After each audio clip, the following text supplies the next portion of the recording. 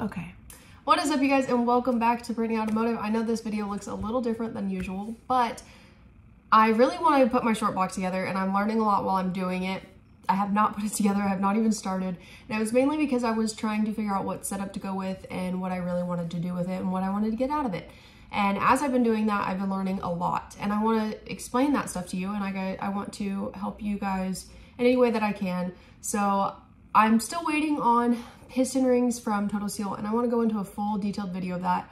If you've watched my previous videos, you know that I did an install, but I kind of want to explain that more because I just put stock rings back into it and I really didn't know all the stuff that I've learned now that can add a lot of horsepower when you do it.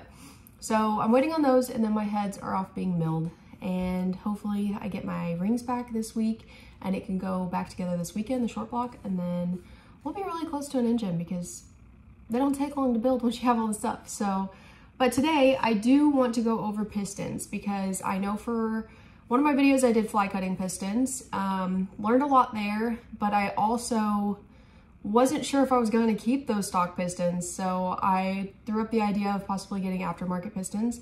And the reason for that is simply because these are hypereutectic uh, pistons.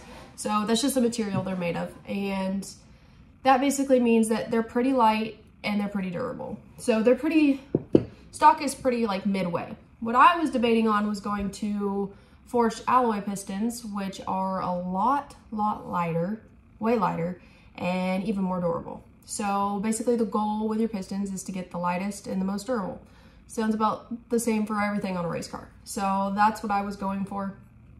Um, some things to look at on these pistons. So you either have compression domes to build compression. So there'll actually be a dome that comes out on some of these pistons and that's simply to increase compression. And uh, these have valve reliefs. So I'll get into valve reliefs and whatnot later because that'll probably be included in my heads video because I also want to test for piston to valve clearance because I did talk about that in fly cutting and then I didn't go into much detail. So then, yeah. But another thing, you have your piston skirts here. And then you have your pin bore here. So this is where your rod goes up in here. Um, and then you'll have three grooves. You have your top groove, your second groove, and your oil ring groove. And I will go into a full detail on uh, piston rings when I get those back from Total Seal. So you guys will see that and how to put them together and all that good stuff. So one thing I do want to mention is on these piston skirts, that's kind of where the force is pushing on when the engine is on. So Another thing is these walls up on the top are tapered in like this. It's very hard to see, but they taper in. And it's simply because the hotter the engine is getting, um, this is going to start to expand. And it's going to try to expand into the wall. But you want piston to wall clearance. So they are tapered in. When they grind these pistons, as you can see this area right here, this is called a cam ground piston. The dimension from the top to the bottom is greater than the dimensions from side to side. And basically they can be anywhere from low to high, and you can guess what that means. The higher it is, the further away this is compared to what these two are. If that makes any sense. I hope it does. I'm gonna put a little graphic on this. Editing, Britney, graphic. Through that whole explanation because that was rough. This is so difficult. Don't focus on my face. Stop it.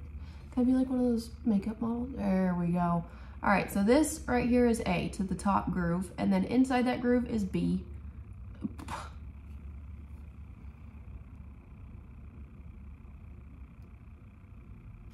Okay.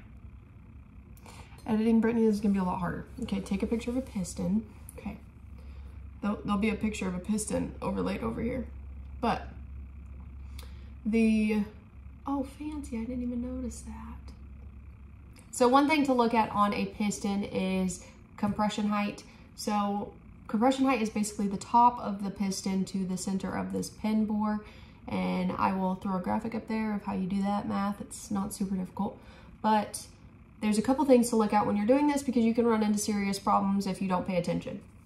So one of the things is that there is a minimum height that the top part of the piston to the first ring can be before it just starts deteriorating while the engine's running at the heat that it's at. And then the next one is the valve reliefs when they're cut into the piston.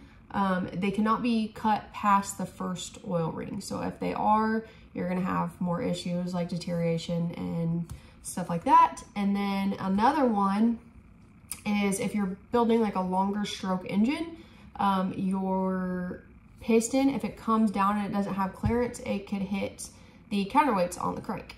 So you have to watch out for that. And then another thing, so if you don't, if you can see it on this one, you can see that it's cut into the top of the piston here.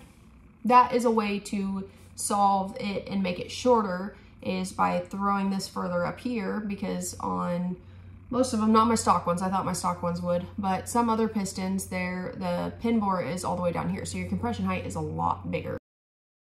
So like I said, this was kind of just like a piston know-how of what I've learned, and I'm sure there is plenty more to come but I am going to be doing a video on the piston rings because I learned a lot with that stuff, especially like materials and everything that you can do to manipulate it and actually make power.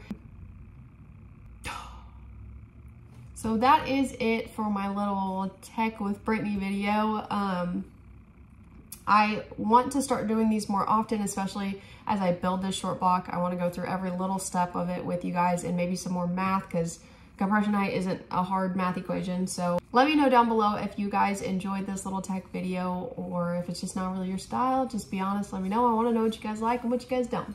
I do want to thank my sponsors, AllEFI, Menscer, Motul, and Heatwave. And I will see you guys next week. And hopefully I will see you guys next week with a short block together. And if I don't, and I will see you next week, next week with the short walk together.